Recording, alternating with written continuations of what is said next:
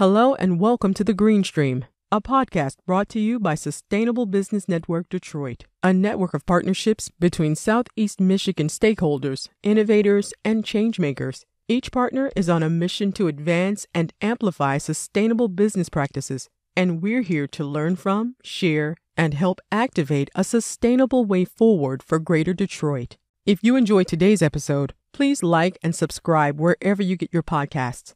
Leave us a review and join the conversation on Facebook, Twitter, and LinkedIn. And head over to our website, sbn detroit.org.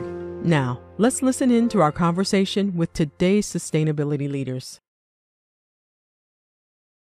Well, welcome to the Green Stream, and thank you for joining us today. I'm Terry Barclay, President and CEO of Inforum and Chair of the Sustainable Business Network of Detroit. And I am just really, really looking forward to today's conversation. We're so thrilled that Maria Mercedes Galarza, who is Deputy Director of the Office of Sustainability for the City of Detroit, is our guest today. And let me just tell you a little bit about Maria, but I'm hoping she's going to tell us some more about her career journey and what led her to the role that she's in today. But Maria is a registered architect and urban planner. And most recently, she led the engagement for the planning of the first resilience hub for backup solar energy storage in the city of Detroit. Really looking forward to hearing more about that. She has a dual master's degree in architecture and urban and regional planning from the University of Michigan. Welcome, Maria. Thank you, Terry. It's so good to be here. So, so tell us, tell us about, you know, um, share with us your background story and how you ended up in this role. What led you to this? Yeah, I'm happy to. Uh, you know, doing this um, job has been such a privilege for the last uh, almost a year now. Um, I have been with the city of Detroit for seven years. Uh, so, you know, I'm earning my career chops uh, doing public service uh, and in municipal government, and, and truly has been a passion. Uh, if you were to ask me, you know, was your career going to end up in municipal government? Uh, I probably would have guessed not. Uh, I grew up sort of really interested in neighborhoods. Uh, I'm originally from Quito, Ecuador, very walkable city. I uh, immigrated to the US when I was 13 to Houston, Texas, out of all places. Um, you know, a place where there was definitely a neighborhood with not a lot of sidewalks. I'll say that. and so it was definitely a culture shock. And I think that really, in hindsight, guided sort of like my passion to really figure out how to create communities that are really vibrant and, you know, uh, were reminiscent of how I grew up. Um, somewhere down the line, I figured architecture was a path because I, you know, figured it was had to do with the built environment, and I was really interested in uh, design. So I, I pursued an architecture degree, and later in life, I discovered sort of urban planning and urbanism, uh, and got really interested in that. And so I started my career working in architecture, you know, earning my chops and learning, you know, all the things buildings, uh, you know, building envelope, energy, uh, construction, engineering. Um, got my license in architecture recently. So, you know, all that uh, information is really fresh in my mind as I transitioned to this new role. But uh, really, I never thought sort of combining my architecture degree and my urban planning degree would be so useful. And it has been really through um, a journey of discovery and, and endless curiosity that I have ended up in the sustainability office. Uh, when my colleague Joel pursued another opportunity outside the city, our previous director uh, you know, he delegated the climate strategy onto me um, as a project, and I completely sort of fell in love with the team that we were working with and with the project.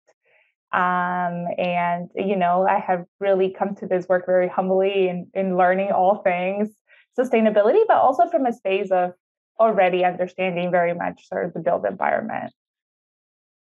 Boy, that is quite um, an, an arc of, of life and a career. I mean, uh, boy, all stunningly beautiful places. Um, and now you're in another stunningly beautiful place. right, we're we're so lucky to have have you with us. So, um, how do you see the sustainability initiative for the city as helping to transform the impact of citizens in the city? I know that that's one of your special areas of interest are really um, connecting people with this work. Yes, definitely. Um, you know, as I mentioned, a lot of my work has been centered around sort of communities and creating vibrant communities, and, and people are really at the center of that. Uh, one of the things I'm really proud of with the climate strategy that was recently released is that, you know, unlike other sort of government documents or climate documents that can be really overwhelming and jargony, um, the climate strategy is really sort of people friendly and reader friendly.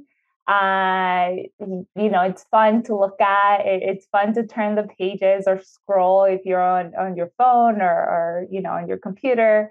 Um, and that's really important because how we communicate, uh, you know, our vision and our goals is the first start, you know, to people really, uh, one, becoming interested, but digging in, you know.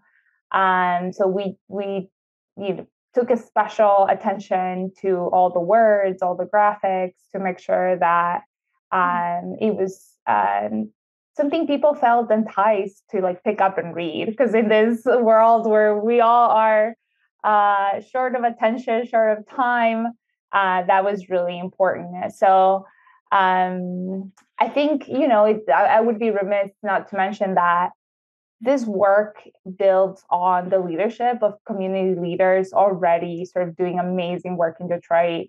Uh, you know, the city obviously has a role in setting out goals, but um, there's been work happening for decades already, you know, in the environmental advocacy space, uh, you know, creating and implementing projects, everything from stormwater uh, you know, to solar installations. I mean, that that level of leadership already exists in Detroit, and we're just really lucky to have um, champions that we can partner with and, and keep moving the uh, those goals forward. You know, it's so wonderful to hear you mention that because we've had a number of those leaders on this podcast or featured in the SBND newsletter. And it really is impressive and humbling to see the multi-year commitment by citizens um, in the city uh, to this work. So thank you for sort of lifting that up and, and highlighting that. But but I'm hoping you'll be able to tell us a little bit more about the newly launched um, climate strategy framework. So I think there's four sort of pillars or four areas of work. Could could you tell us a little bit more? Yeah, absolutely. Um, yeah, like I mentioned, you know, we really uh, tried our hardest to um, summarize information in ways that are relatable. Uh, those four key sort of pillars and strategies are transitioning to clean energy. So if we think about clean energy, we think uh, solar, wind. Um, the second pillar is increasing sustainable mobility. Um, so, you know, we really came up with a sentence that encompassed, you know, micromobility, which are like scooters, uh, all the way to sort of public transit. Uh, so, really, how do we think about these things holistically? The scooters. We'll have to talk about the scooters.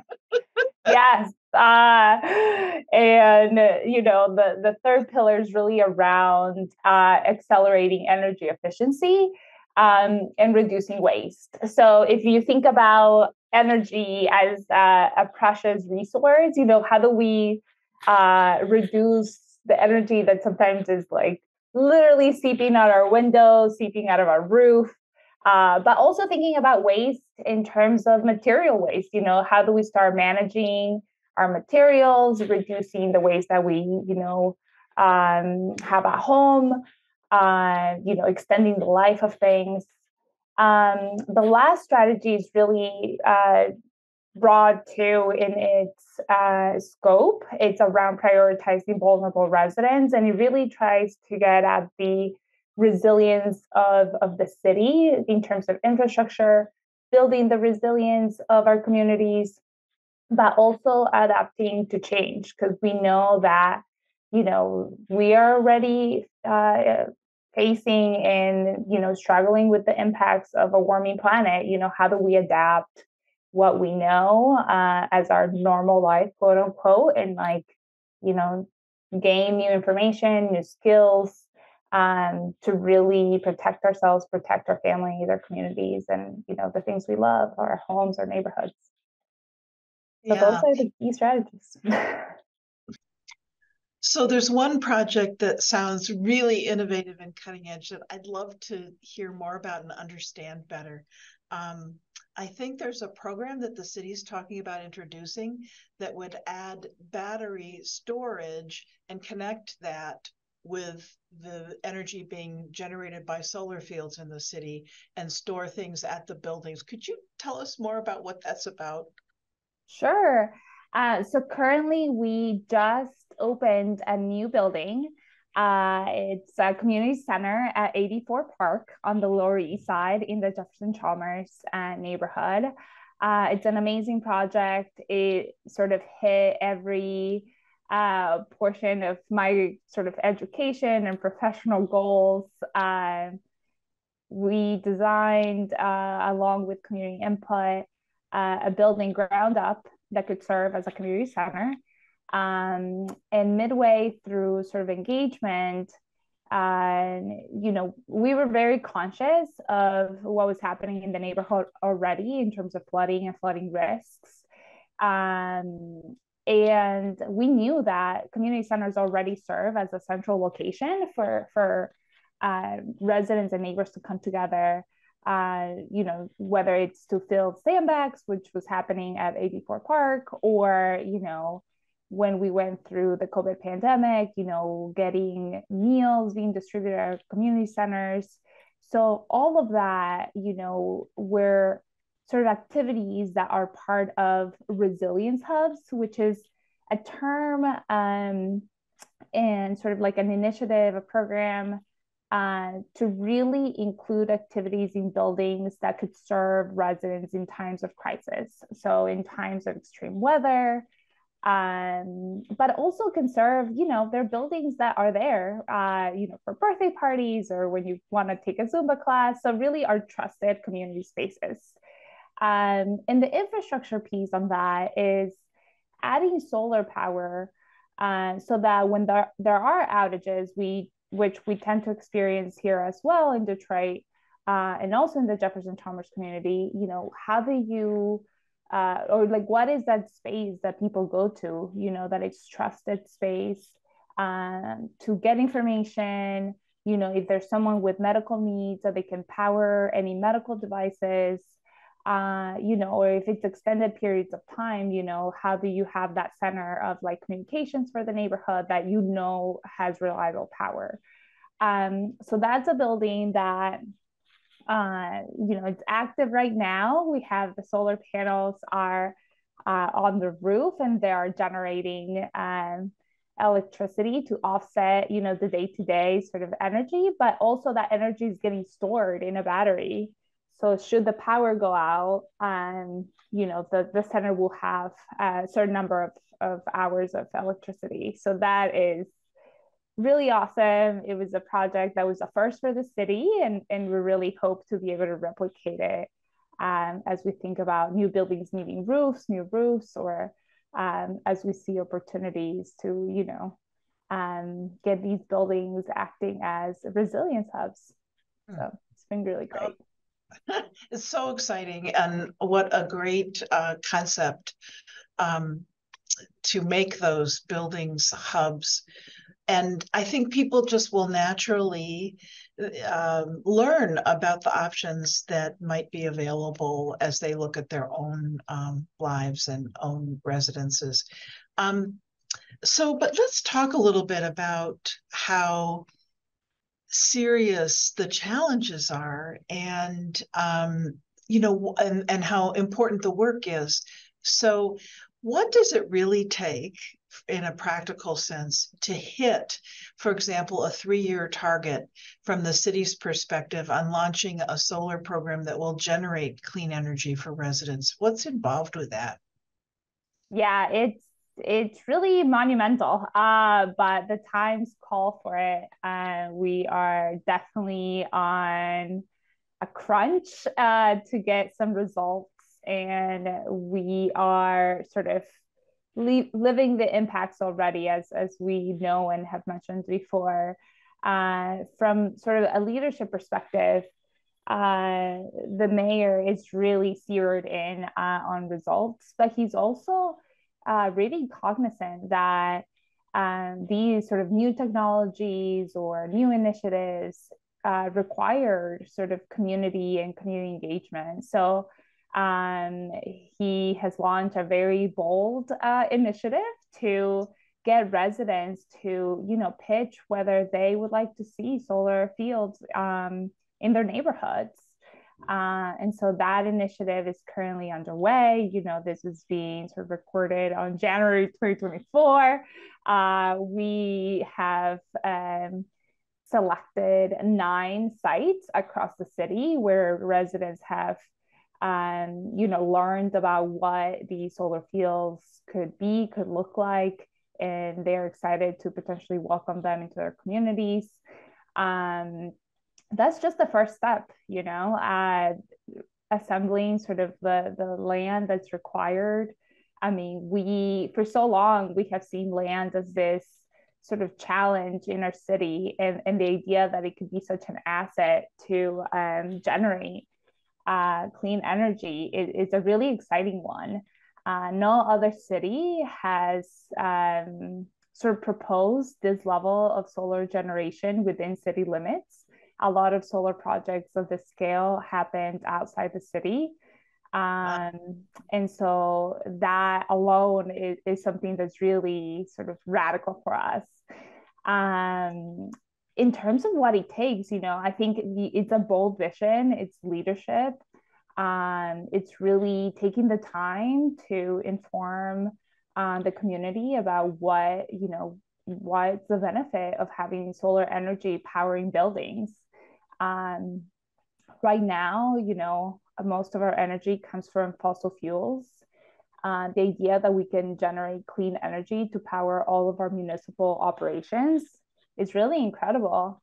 Um, you know, the city of Detroit, in terms of buildings, if you think about um, police precincts, fire stations, um, rec centers, you know, those are all buildings that, you know, require electricity um, so to be able to power those and you know say that they're completely clean, it's it's really really amazing, and it really gets at one of our key goals. You know, I guess I mean most of your uh, listeners probably know this, but uh, buildings are one of the biggest sort of generators of greenhouse gas emissions, and so taking that sort of sector uh, of buildings um, from our inventory, uh, it, it's really key.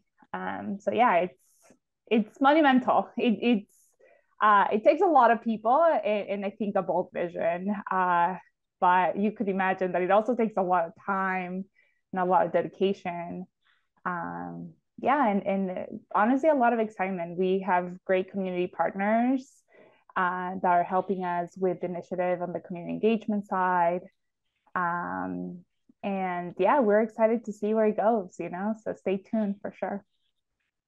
Well, well, thank you for talking about that. I think that one of the questions that uh, skeptics, uh, people who are skeptical about all of this work have is like, oh, there's all of this jargon, as you pointed out earlier, and there's all these initiatives, but how do you really make them happen? You know how do you how do you make them real?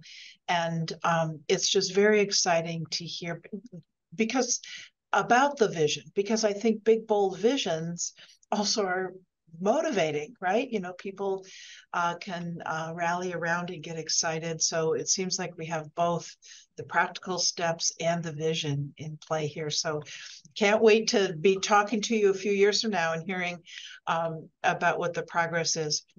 Um, you know, before we went live, Maria, we were talking about the United Nations and you know COP, COP 28 that just completed a month ago in Dubai, and how Bloomberg had uh, assembled 150 mayors from uh, major cities uh, around our country to have sort of a mayor's innovation conversation. And um, from some of the things that I've read, I wasn't there at COP28, but from some of the things that I've read, um, one of the topics was how cities can better engage youth in local climate efforts. Do you, what's your reaction to that? Do you have any thoughts? Yeah, I definitely think we're living in a time where um yeah we're competing you know the the news uh cycle is uh feels really dire um and I don't blame, you know, all the young people who would rather tune in into sort of Instagram or TikTok to see other things that aren't uh, news about how the the planet's warming. You know, on the other hand, um, I'm really encouraged and and truly sort of amazed by the leadership young young people are taking across the world. Uh, really. Um, and and the fact that they're seeing um, sort of social justice and climate being really related.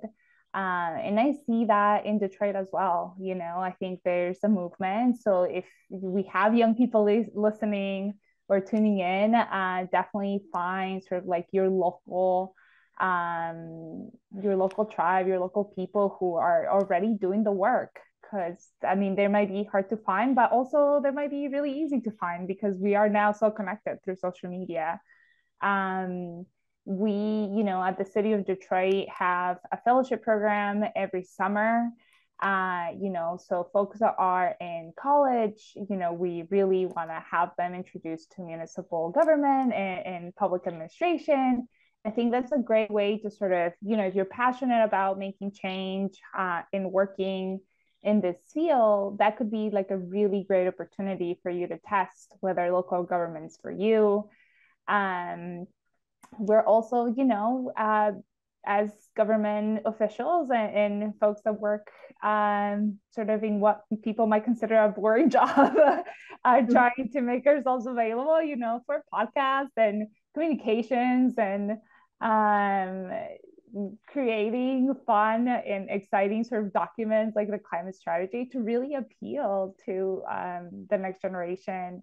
Um, and, and, hopefully you know inspire uh, those who might be thinking about um, doing something really impactful uh, and, and, maybe are curious about local government and, and, hopefully get them get them in to you know be the next um, sustainability director, deputy, you know, transportation head. You know, there's just so many things um, that require that uh, young perspective. And so definitely something that we're, we're doing in terms of our communications, but also, you know, uh, hopefully once the weather breaks, and have some opportunities like volunteering or just like gathering as a community and, and really all are welcomed no matter no matter what age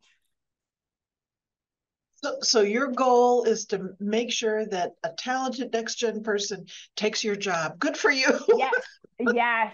Uh, I have hope, and I very much feel like a dinosaur sometimes. I'm just like, I don't, I'm not a TikTok. I don't understand. But I have a 17 year old niece that keeps me honest and up to date. So find the young people in your life that can do that for you. Oh, that's wonderful. So, so you know, you've kind of been talking about this all along, um, but are there um, any other tools or tactics that you can share that the city is using to help implement all these changes um, to make Detroit a, a climate sustainable city?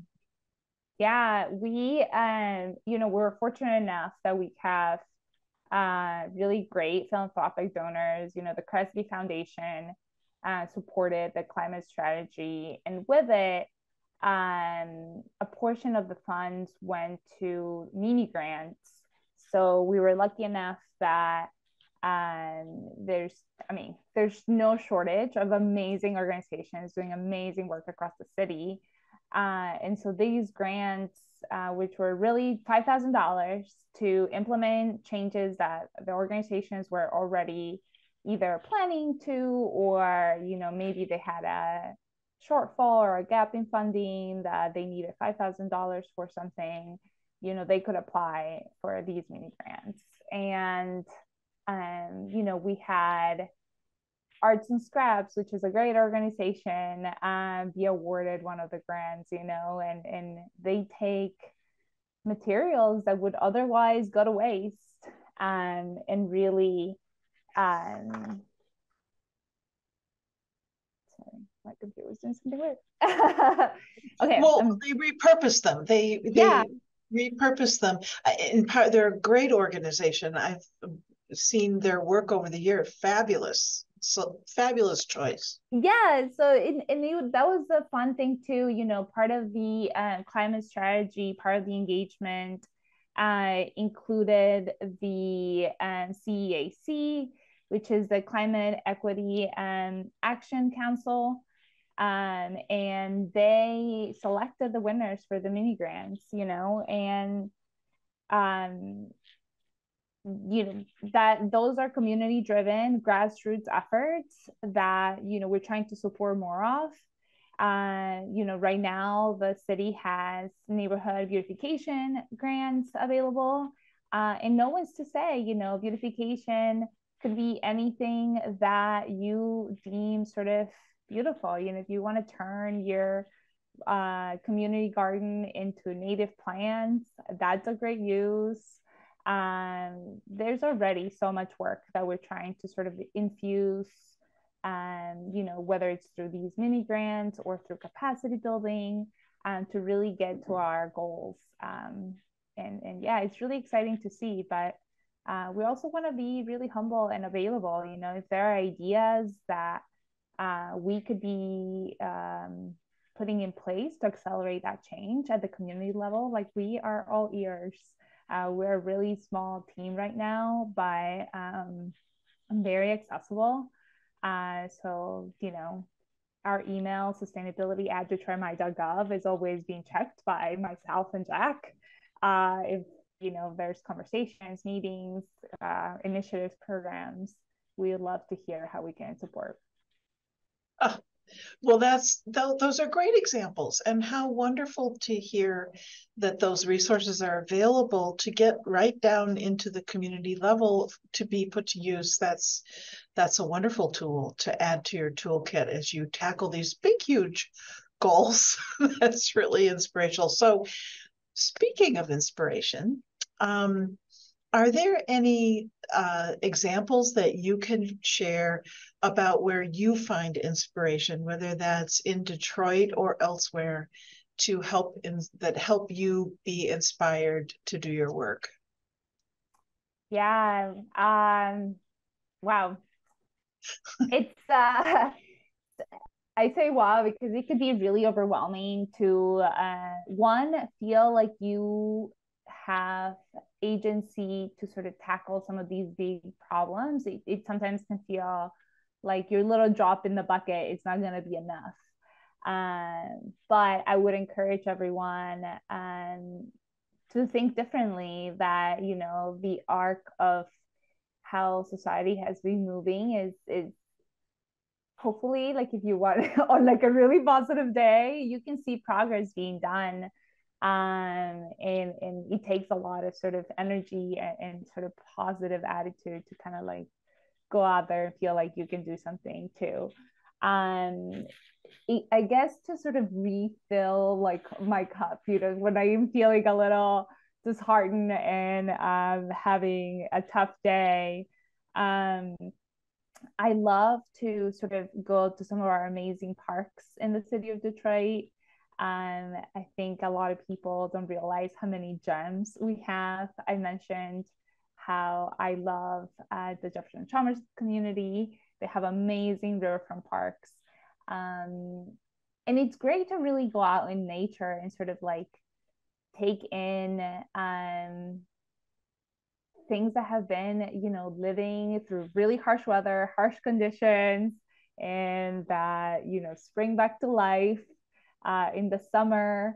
Um, and really sort of take a moment to realize that you're just one little piece of a much bigger sort of ecosystem and, and why it's worth to sort of, you know, keep pursuing um, these changes, both big and small, uh, and how we can all sort of take part on um, trying to make our communities better from whatever perspective, whatever you have to bring. I think we all have uh, different strengths, different passions uh, that can all be applied uh, to really chip away at, at, at, you know this moment in time where we're experiencing so much um, sort of climate anxiety, right? So like also being cognizant that sometimes it's okay to step away of the work, you know, and uh, take a moment to sort of um, take care of yourself, take care of your family, and say, you know, there are other really good people taking leadership, and that's great. And then when you're ready to get back at it, um, you know, then bring bring all that energy back.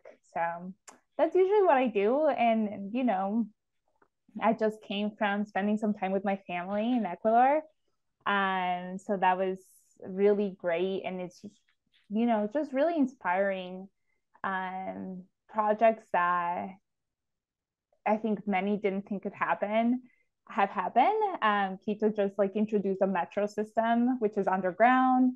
You know, Quito is a city that has earthquakes, and people are like, that's never going to work. And it has worked. So, like, it's really inspiring to see projects that, you know, a lot of people spend a lot of time planning for and then they come to life. So I would say, you know, anyone feeling a little um, discouraged, if there are any planning meetings, any projects that you really support around, you know, transit, um, go to those meetings, advocate, you know, like speak up for the things that you love, because you never know how that voice is really going to impact sort of like the next decisions for those big projects that might happen in shorter time than you imagine. I mean, I know that 10 years sounds insanely long, but it goes by so quick once you hit 30. All the years just like start uh, going by super quickly. So uh, they, you know, it be there are going to be transformational projects that you can lend your voice on today that could happen within your lifetime. And I think it, it's worth sort of knowing that. Well, those are very inspirational words for us to end our time together with. You know, it's it's that whole that whole idea that begin begin where you can you you never know what ripples of impact you'll have from even the smallest things and and take um, that perspective and inspiration. I agree with you. Some of the most amazing things are happening in the neighborhoods with parks and um, gardens and things that residents in the neighborhood have come together to support and create. You know, that's really such an important part of of um, community. And um, in the long run, that's what's going to get us there, uh, as well as policymakers like you who are there behind the scenes trying to get the resources and uh, put the frameworks together to to make it all happen. So thank you so much for joining us today, Maria. And we, you know, I just wish you the best of luck in your work. We're lucky to have you with us here in Detroit. Oh my gosh, thank you so much, Terry. And um, thank you for lending your platform to really uh, inform and educate residents and yeah, keep spreading sort of the good energy of, you know, all the work we can do together. Thank you. Thank you. Thank you for tuning in to the Sustainable Business Network Detroit, the Green Stream podcast. Remember to like, subscribe, and leave a review wherever you listen to podcasts. Make sure to follow us on sbn detroit.org and stay tuned for more conversations on sustainability from inside and around the city.